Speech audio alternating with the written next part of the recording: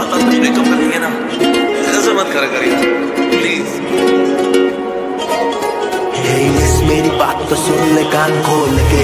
मैं तो थक गया तुझे बोल बोल के। तू जानती नहीं मेरा प्यार पहचानती नहीं तभी करती रहती तू। रिलेशनशिप ला ला ला ला ला